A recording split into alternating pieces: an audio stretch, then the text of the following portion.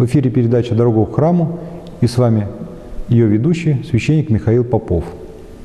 Традиционно в начале нашей передачи мы переходим к рубрике новостей Видновского благочиния.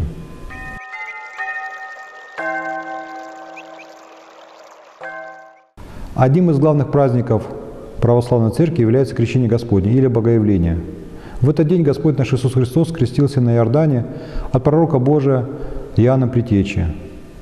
Вспоминая это событие, традиционно в ночь на 19 января православные христиане совершают купание в освященных водоемах или купелях. Еще иногда их называют Иорданами. И вот на одном таком месте в деревне Калиновки побывала наша съемочная группа. События жизни Христа отразились в праздновании Дня Его крещения. Согласно Евангелию, в этот день в реке Иордан Христос принял веру. Теперь каждый год верующие могут погрузиться в освященные воды, таким образом следуя действиям Сына Божьего. Прежде чем спускаться в воду, необходимо э, желательно побывать на богослужении, помолиться в этот день. Вот. Также желательно подготовиться к исповеди, к причастию. Вот. И уже итогом всей этой духовной подготовки, наверное, должно стать погружение в воду.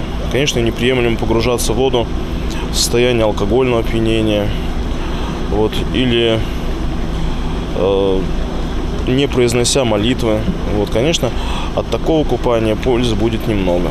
Настоятель Иоанна Притеченского храма в деревне Калиновка, отец Виктор, провел службу для прихожан.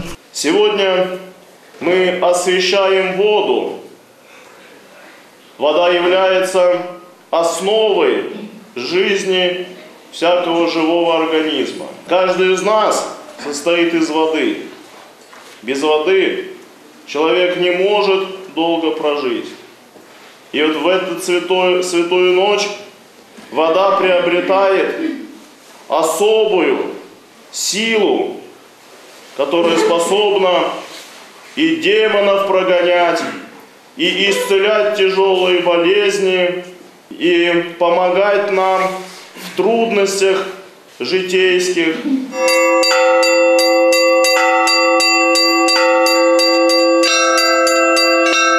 Крестный ход направился к пруду около храма, где была вырублена прорубь Иордань. После освещения воды каждый пришедший мог окунуться в нее. В эту ночь температура на улице была около нуля. Так называемые крещенские морозы отступили. Однако, по словам сотрудников полиции, это только осложнило ситуацию. Пытаемся объяснить гражданам, чтобы как бы все, весь народ толпой не лез на лед, потому что лед слабенький, нынче тепло, как бы трескается. Когда мороз, то купаться-то она получше, как бы, и не мерзнешь, как бы искупался, вышел, как бы, холодец по телу пробегает. Кроме контроля над тонким льдом, сотрудникам полиции необходимо было следить за состоянием купающихся, так как пьяным выходить на лед крайне опасно, но таковых в этот вечер замечено не было. В целом праздничная атмосфера чувствовалась на протяжении всего времени купаний. Люди признавались, что ощущения после воды передать словами просто невозможно. Ну, я не знаю, как передать, когда вот с головой кунаешься, как бы как будто в голове все теряется. Вот. Как заново родился. Да, да, да. Ты сам крещенный. И вот обязательно вроде поддерживают этот праздник. Каждый год? Каждый год. Среди прихожан в этот вечер были люди, которые первый раз пришли на купание. Я вообще первый раз вот в этом году. А почему решили? Да вот решили что-то в жизни поменять. А что изменится, как вам кажется? А мало ли. Слышала об этом как бы раньше, но боялась всегда попробовать это. И вот сейчас решилась что-то тоже попробовать новое. Вот она захотела. Это ее инициатива была, не моя. Вот. Сказал, мам, давай. Приближение к Богу и укрепление веры – основной смысл купания в Иордане. Люди избавляются от дурных мыслей, получают облегчение, смывают грехи. В деревне Калиновка только второй год проводятся крещенские омовения, и, как отмечают священнослужители, людей, пришедших на праздник Богоявления, было в три раза больше по сравнению с прошлым годом. Купания здесь теперь будут традиционными. Екатерина Чернышова, Евгений Петров, Елена Кошелева, Видное ТВ.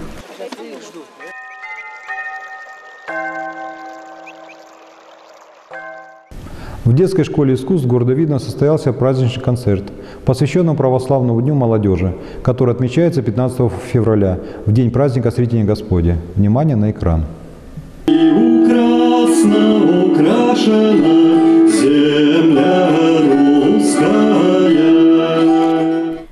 Всемирный день православной молодежи в Ленинском районе отмечается с 2007 года. В рамках этого праздника в Видновской детской школе искусств прошел концерт, в котором принимали участие разнообразные молодежные коллективы, объединенные одной общей идеей. Все музыканты стараются петь о Боге, о человеческих чувствах, которые благословляются Богом. Там играем такой фолк-рок на английском языке. В основном это переведенные на английский ирландские молитвы, раннехристианские. Вот очень красивая музыка. Мероприятие направлено на формирование у молодежи интереса к традиционной русской православной церкви. Мы стараемся нести молодежи Слово Божие, стараемся молодежи рассказывать о том, что им интересно, но с позиции церкви, с позиции э, сердца верующего человека. Исполняющий обязанности главы Ленинского района Олег Хромов вручил почетные грамоты и благодарственные письма клирикам Видновского благочиния и поздравил всех с праздником. Я уверен, то, что наши дети, когда побывают на таких мероприятиях, у них ёкнет в сердце, зажгется огонек любви, и они все будут счастливы.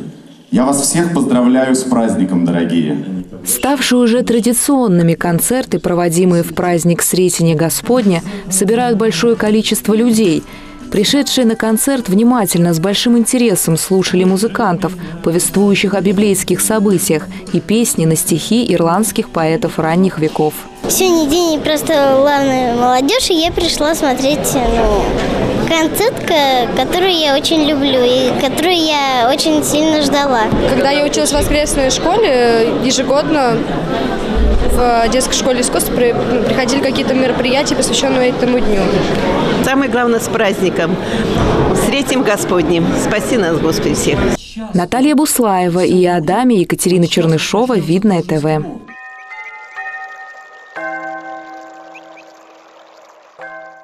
Первое воскресенье Великого Поста называется неделя православия. В этот день благочинный церкви Видновского округа после литургии совершил чин торжества православия. В Георгиевском храме города Видно собралось множество народа. Духовенство и миряне молились о торжестве веры и о укреплении ее в своих сердцах. Первое воскресенье Великого Поста церковь празднует как День торжества православия. История этого праздника относит нас вглубь веков – 787 год. Седьмой Вселенский собор. Собор, который собрался в церкви для того, чтобы подтвердить истинность и правильность учения церковного об иконопочитании.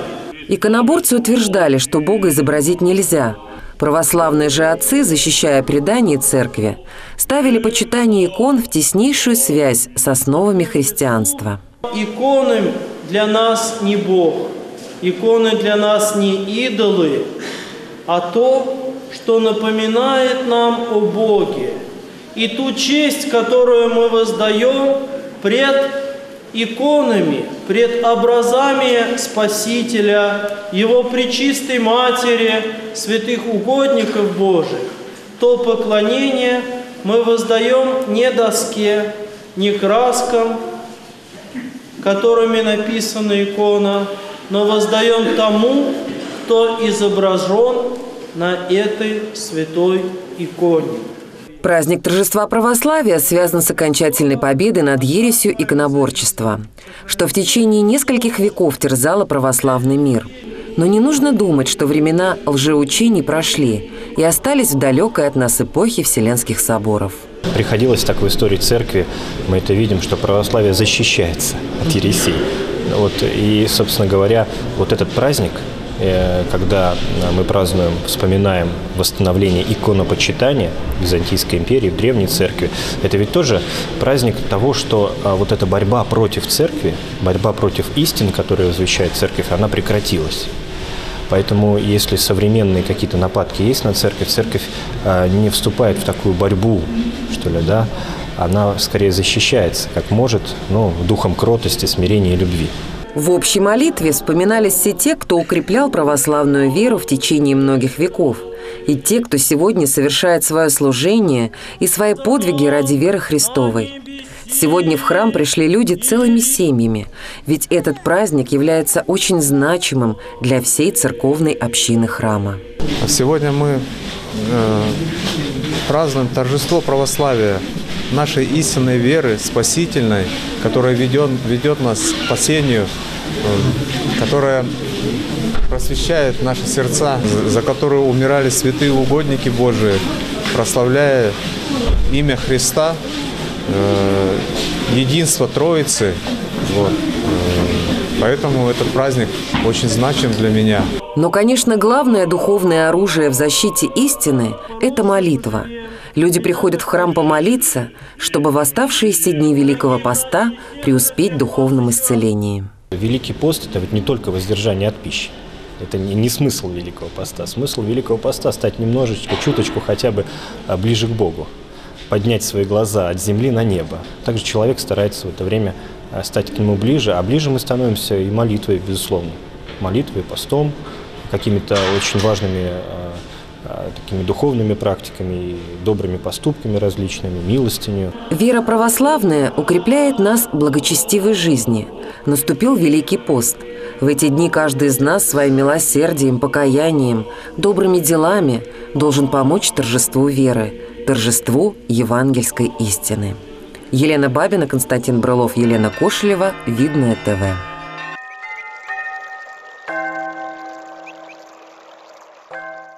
Дорогие друзья, в рубрике нашей передачи из первых уст мы продолжаем нашу беседу э, с настоятелем Троицкого храма поселка Измаила протерием Дмитрием Шпанько.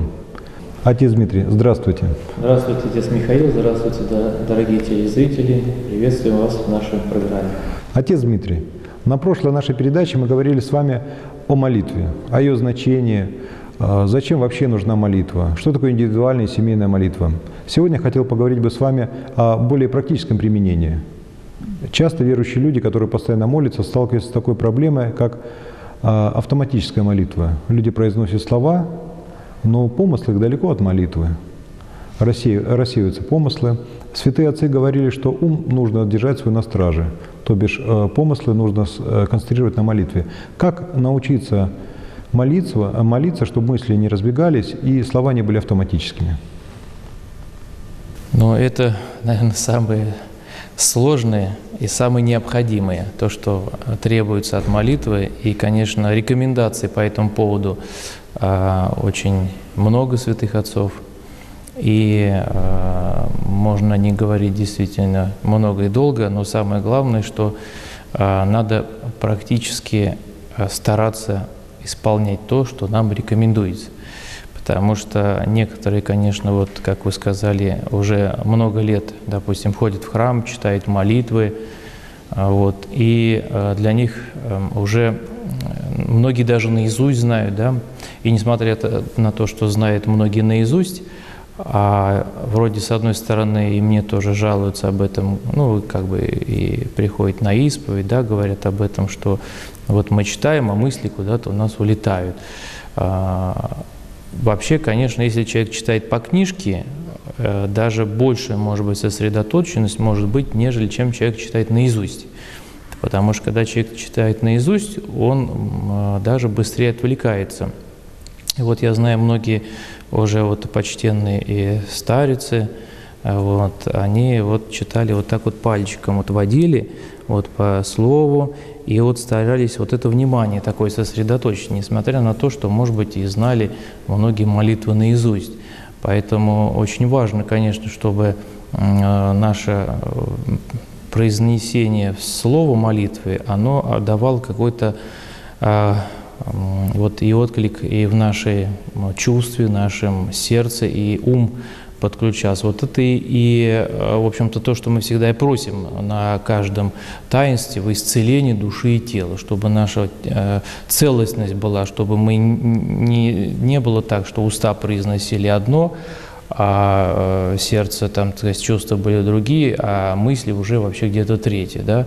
Вот, это как действительно, вот тогда мы будем как вот э, фарисеи, да, Господь, как говорит, что приближаются ко мне люди, которые и языком своим и чтут меня а, вот от своего чтения, скажем так, да, а сердце их далеко от меня. Вот чтобы мы не были похожи на таких, вот, конечно, надо себя понуждать, нудить вот, во всем.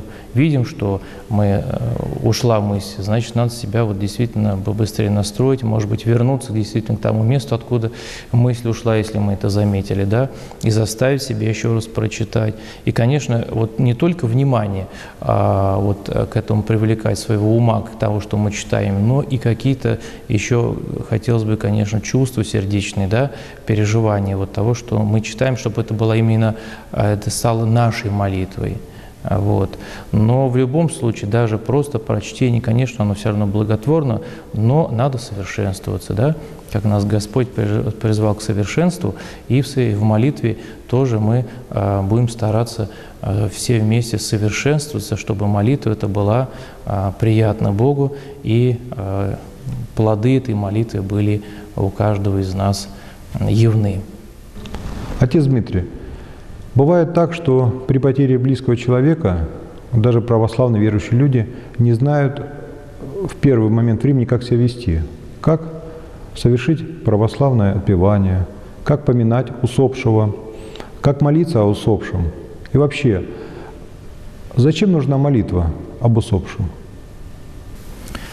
Да, конечно, встреча с потерей близкого человека – это всегда стресс, а, тем более, если человек – скажем так, не ведет а, такую церковную жизнь, да даже если и ведет, все равно это, скажем так, трагедия бывает в жизни человека, и он не знает, как на нее отреагировать правильно. Мы с вами знаем, что вот а, монашествующие, да, они всегда готовятся к этому сроку исходу из этой временной, временного удела плача, как мы его называем, да, вот. И Поэтому а, для них это радость всегда, да, потому что встреча с вечностью, встреча с тем блаженством, к которому мы не стремились, как мы надеемся, да, если монах жил смиренно, благочестиво, послушание, игумен и так далее. А мы, миряне, живущие, так сказать, в миру, вот, обременены больше суетой всякой. Вокруг нас много всяких проблем, забот. И вот и когда, тем более внезапно бывает такая смерть близкого человека, мы как бы врасплох застаемся и не знаем, что делать. Вот. Ну, конечно, посоветовать прежде всего это прийти в храм. Да, не растеряться человеку, прийти в храм, поговорить со священнослужителем, который, я думаю, даст а, те, скажем так, советы, как поступить в данной ситуации, потому что а, сейчас вот есть такие услуги и при а, там, больницах все, но это может быть не совсем правильно, да, организовано все. А, и когда человек придет в храм, то, конечно, ему посоветуют и а, почитать прежде всего псалтырь об э, усопшем, да, есть акафиз за единоумершего, который вот читается до сорокового дня, вот. Это приносит, конечно, успокоение и э, душе усопшего, и самому человеку, который скорбит о потере близкого. Вот. Он чувствует, что он какой-то принимает участие вот в судьбе той души, которая отошла из временной жизни в жизнь вечную.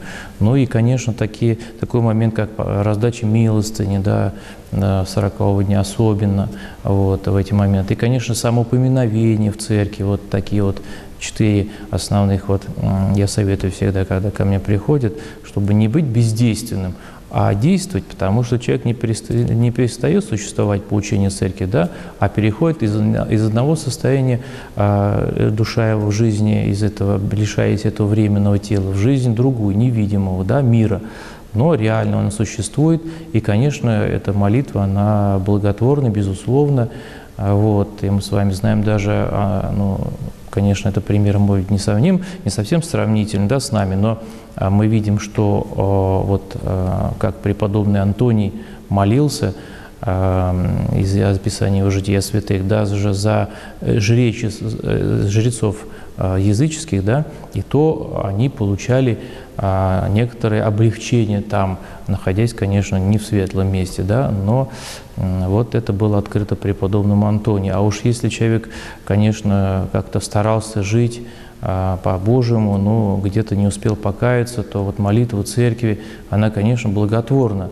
Вот, если он в основных своих всех грехах покаялся, то э, церковь, она бы не установила бы э, такой момент поминовения, если бы он был не нужен. Поэтому, конечно, э, это, это и проявление той любви, да, о которой Господь говорит, что заповедь новая даю вам. Это же ведь когда мы помним человека, это мы проявляем любовь к нему. Поэтому в поминовении усопших тоже вот присутствует исполнение заповеди о любви к ближнему. Отец Дмитрий, в древнюю эпоху люди жили по следующему принципу. Люби ближнего своего и ненавидь врагов своих. А, в наше перенасыщенное информационное время люди чувствуют какое-то раздражение друг к другу, озлобленность, непонятно откуда берущаяся злость, раздражительность. И, в принципе, по большому счету живут по такой же заповеди. Они любят своих домашних, близких, а тех, те люди, которые как-то их раздражают, они относятся к ним с неприязнью. Господь своей земной жизнью завещал нам и говорил часто об этом, что нужно любить своих врагов, молиться о них. И даже распинаемый римским воином на кресте, он говорил следующие слова, обращаясь к Отцу. «Отче, прости им, ибо не ведают, что они делают». Отец Дмитрий, как научиться молиться за врагов и где взять на это силы? Ну, как правильно молиться за, за врагов, вы уже, отец Михаил, сами сказали, да? А, вот, Гос...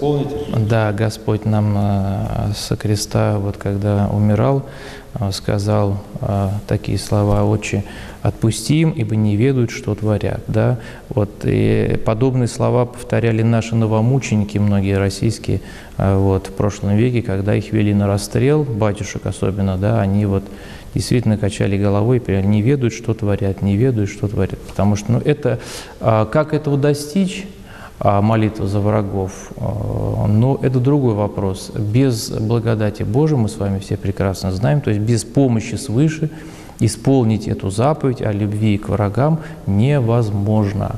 Поэтому и человек, который живет в миру, он как бы посмеивается, да, вот над нами, когда мы говорим, может быть, да, передавая слова не свои, а слова нашего Господа, вот Спасителя, а, и что вот ударившего тебя в одну щеку, поставь ему другую, и такие заповеди, как а, возлюби а, врага твоего, да, вот, и молиться за врагов. И поэтому не удивляйтесь, как можно вообще это сделать. И действительно, для них, для человека ветхого, скажем так, живущего без Христа, это невозможно потому что они живут по образцу старому, а, вот, где вы правильно сказали, око за око, зуб за зуб, да, глаз за глаз, ты мне, я тебе, вот ты мне сделал плохо, я тебе сделал плохо, да, ты мне сделал еще хуже, я тебе еще сделаю хуже, чтобы ты научился делать мне. Вот. А нас Христос этому не учил, да, Он нас учит совершенно по-другому поступать и достигать, а, скажем, а, той цели, к которой мы стремимся, совершенно с другой стороны и гораздо быстрее. То есть э, научиться полюбить врага, а как полюбить врага, скажем? Конечно, да, скажем так, с точки зрения вот нашего обыденного человека это невозможно. Он тебе сделал гадость, а ты должен... А его как полюбить? А вот понять, что а, за этим а, злом, который он сделал, а, стоит а, именно дух злобы которым, скажем, помрачен в этот момент этот человек, который совершает грабеж, там, убийство, вот, э, или другой какой-нибудь неправильный поступок, или оклеветал там тебя, допустим, или наговорил что-то на тебя, или оскорбил, да, да, мы привели такие, может быть, максимальные примеры, там, а он ну, оскорбил человека, допустим, да, и мы готовы, так сказать, в ответ ему такое же оскорбление послать. Вот, или как отец Николай Гурьян в зале Царства Небесного, взять дубину и дать ему, значит, да, ну, вот это вот ветхий человек. А по-новому мы, мы должны вот понять, что это действует э, в нем страсть, э, вот, э, за которой стоит, скажем так, ну, как одержимость, да, беснование некое такое. Вот.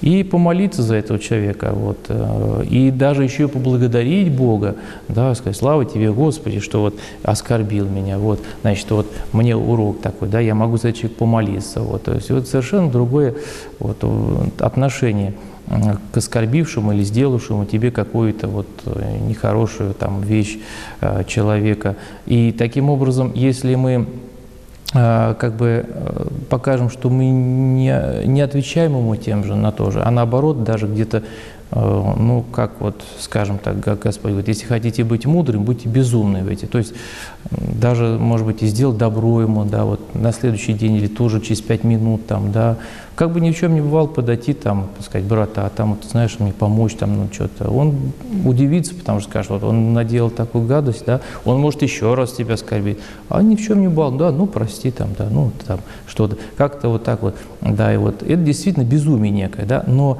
когда человек вот с любовью это делает, искренне с любовью, то, конечно, он быстрее достигает своего результата, то есть он обращает этого человека к добру, своим собственным примером, видя, что он не желает ему никакого зла взамен того, что тот кто ему посылает плохое какое-то, да, что-то делать, а ты в ответ не отвечаешь ему этим плохим, но наоборот даже делаешь ему благо, да, вот помогаешь, допустим, вот он тебе что-то там сделал плохое, а вот попал тот человек в такую ситуацию, а ты ему там помог, допустим, денежно там или что-то, его это обезоруживает, да, потому что он думает, ну как же так, я вот человеку гадость творил, а он мне добро сделал, да, вот. Кстати, вот от этого такая нехорошая пословица мирская, не хочешь э, добра, не хочешь зла, не делай добро, да?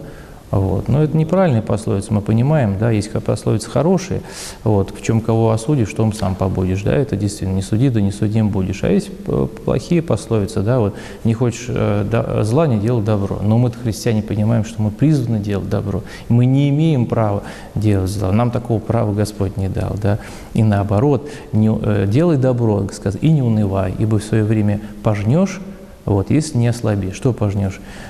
Пожнешь вот то, что человек может измениться, да, он изменится, придет тебе с покаянием, сам примирится с тобой. Потому что ведь а, святоотеческое наследие нам так говорит, что если э, Богу угоден путь человека, то он и врагов его с ним примиряет.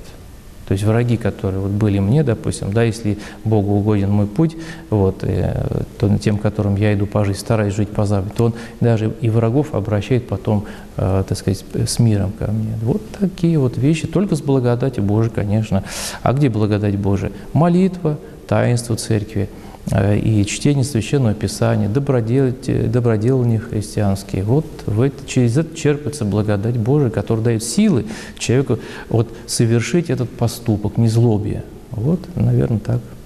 Отец Дмитрий, да. спасибо вам большое. Спасибо, Господи, Отец Михаил, да, за вопросы.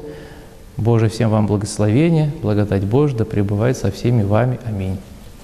Спасибо, Отец Дмитрий.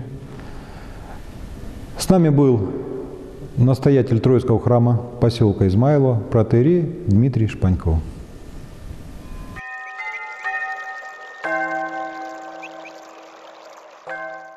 Далее рубрика нашей передачи «История одного храма». В большинстве своем храмы Видновского благочиния имеют давнюю историю. Храм во имя святого благоверного князя Александра Невского в поселке Петровское можно назвать юным – его история началась в 1997 году, когда по просьбе верующих жителей военного городка и с разрешения командования в клубе офицеров была открыта молельная комната. Затем на месте, где располагалась старая почта, была воздвигнута деревянная церковь, ставшая воинским храмом, единственным в нашем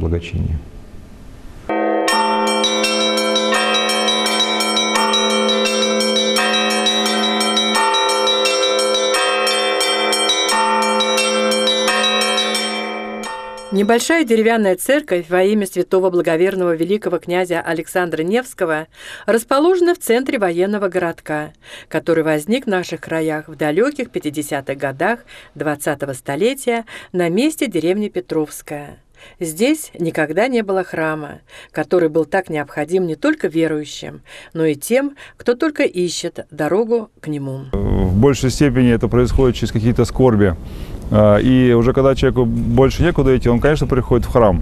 А в храме Господь через, свои, э, через священнослужителя утоляет эти боли, укрепляет и дает как бы жизненные силы для того, чтобы жить дальше. История появления необычного для воинской части сооружения такова. В период брожений в стране в 90-е годы, когда и престиж армии был подорван, когда процветала так называемая дедовщина, Министерство обороны совместно с Федеральным собранием создает новый законопроект о полковых священниках, чтобы поднять дух солдат, воспитать в них нравственность и патриотизм.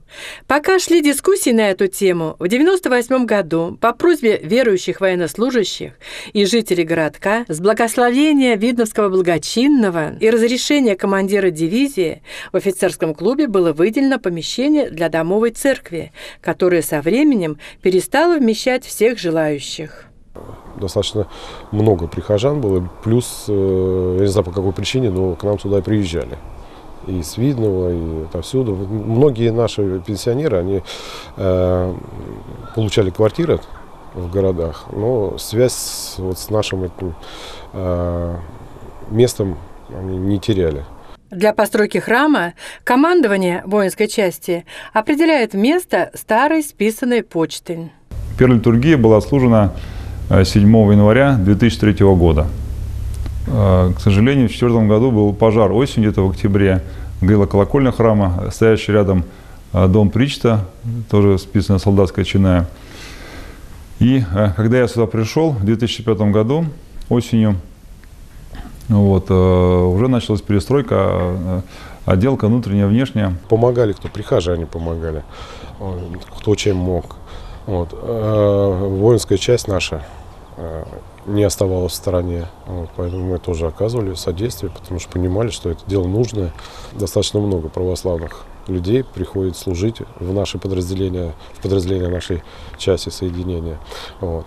И, естественно, конечно, создание храма здесь, вот этого прекрасного храма, это способствовало тому, что духовная жизнь, она обогащалась. И солдаты имели возможность прийти сюда и ну, на какое-то время, скажем так, приблизиться к дому, к своим истокам.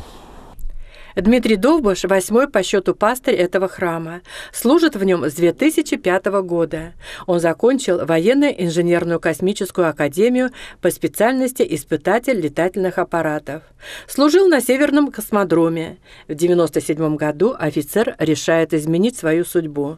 Довбуш выбирает путь служения Богу. После окончания православного института несет послушание, и после рукоположения его назначают настоятелем воинского храма в Петровском, который обустроен, как и положено, по церковному уставу. Впечатляет деревянный иконостас работы суздальских мастеров. Вот он делался порядка года, если стоять лицом к иконостасу, справа икона Спасителя, слева Божьей Матери. Ну, в зависимости от того, в честь кого посвящен храм – Э, кому посвящен храм, через какую икону он построен или какого праздника. Вот дальше после э, врат диаконских с правой стороны идет икона храма Александра Невского в данном случае. Вот. Э, ну, Божья Матерь Смоленская выбрана потому, что наш храм воинский, и мы как бы старались всех, кто за русское воинство молится, и иконы особо чтимые в нашем храме, как бы, чтобы они были. И в данном случае Смоленская икона Божьей Матери как раз она подошла к нашему иконостасу. В храме Александра Невского есть уникальная икона «Собор святых покровителей воинства российского». Я прочитал э, на сайте победа.ру «Взаимодействие церкви с армией» статью про кокарду, которую носят воины на своих главных уборах. В ней 32 луча. И автор статьи утверждает э, мистический смысл этого числа. 320, 32 святых в Царстве Небесном молят за российское воинство – и был проведен список святых. Только их больше, потому что есть новопрославленный адмирал Ушаков, император Николай, цесаревич Алексей. И возникла идея написать икону «Собор святых покорителей воинства российского». В центре иконы пребывает Божья Матерь Порт-Артурская, образ со спасом в руках. А, вокруг, сзади, на заднем плане храм, как образ соборности Руси, вокруг святые. Мы получили официальное благословение на написание тиражирования митрополита Виналя, правящего архиерея Московской епархии. С этого момента мы а, издаем ее в Софрино, на заводе Софрино, и раздаем воинам. И уже, наверное, за это время, э, почти 7 лет, она уже около 10 тысяч, наверное, мы экземпляров раздали русским воинам, чтобы они хоть как-то э, приобщались к этой теме духовно и э, помнили, что о них хоть кто-то думает. Еще одна чудесная икона храма. Это икона покровителей военных моряков. На ней изображены святой Андрей Первозванный, святитель Николай Чудотворец, адмирал Ушаков, живший в XVIII веке и много сделавший для России. Она родилась э, в результате поездок моих на Северный флот. Э, у нас был корабль 16 лет под шефством на Северном флоте, эсминец «Гремящий». 2007 года по 2013 я совершил 11 поездок миссионерских. Э, на этом корабле служили призывники нашего района. Э, за это время мы познакомились с многими офицерами. И чудесным образом в нашем храме появилась сначала частичка мощи Николая Чудотворца, потом адмирала Ушакова и апостола Андрея Первозванного. Для того, чтобы не возить три иконы, была написана одна икона. К сожалению, в 2013 году наш подшефный корабль был списан – выведен состава военно-морского флота, на нем был, был спущен э, государственный флаг Андреевский, который является официальным флагом военно-морского флота. Моряки в память о наших отношениях, наших поездках передали э, спущенный с корабля флаг нам на хранение, и он у нас хранится как э, некая реликвия, святыня. Вот, когда приезжают гости, я им показываю. Моряки очень рады, тоже нашим отношениям были. И вот такой флаг, гвардейский, Андреевский, а, пребывал на флагштоке гвардейского эскадрона Гремячий, теперь у нас хранится. Память о наших отношениях. Надеемся, что корабль будет построен э, новый, э, он уже заложен на верфи в Северном Санкт-Петербурге. Э, ну, когда построят, тогда мы, надеюсь, свои шефские связи возобновим. Священник Дмитрий Довбаш с иконой покровителей военных моряков побывал не только на Гремящем, но и на других флотах, где базируются корабли военно-морского флота Российской Федерации. К иконе смогли приложиться тысячи военнослужащих. И солдаты воинской части Петровская, приходя в храм на богослужение, чтут эту икону, молятся, думают о сокровенном. Очень здорово, что вот здесь вот именно Петровском, где я служу, есть такая возможность посещать храм. То есть помолиться, поставить за здравие свечку, за родителей, что как бы вера и служба это как бы такое одно целое. То есть без веры нет службы, я считаю, что. На душе легче становится. То есть все равно что-то тянет в церковь. Даже там в армии бывает ну, ситуация, когда там, допустим, тяжело, вот. И наши командиры тоже, они верующие, тоже ходят в церковь, то есть. И, ну и с ними есть о чем поговорить, допустим, о вере. Особенность храма в Петровском состоит в том, что он воинский. Настоятель несет послушание и помощника Видновского благочинного по взаимодействию с вооруженными силами и правоохранительными органами. Священник Дмитрий Довбаш – духовник не только военнослужащих, но и членов их семей. И это счастье великое, что есть рядом храм, и что есть у нас возможность ходить. И пусть мы иногда заняты, не можем на полную службу прийти, но можем привести деток, причастить, приобщить вот на помазание э, и получить благодать Божию.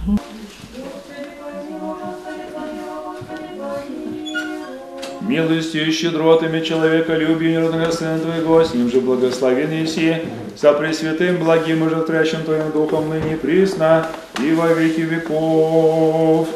Не сразу, конечно, меняется поведение, но сначала изменения происходят в голове, становишься более терпимым, добрее к окружающим, видишь больше своих недостатков. И в этом и есть очищение души. Закончилась вечерняя служба. На военный городок опустились густые сумерки. Но свет из окон храма, кажется, греет всю округу.